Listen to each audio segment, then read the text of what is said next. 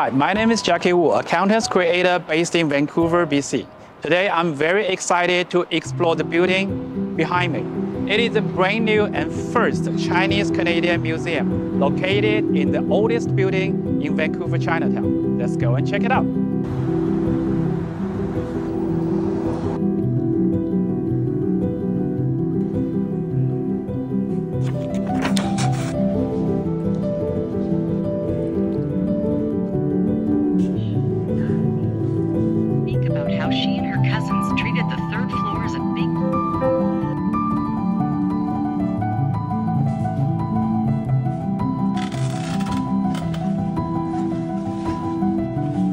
Thank you for coming today with me.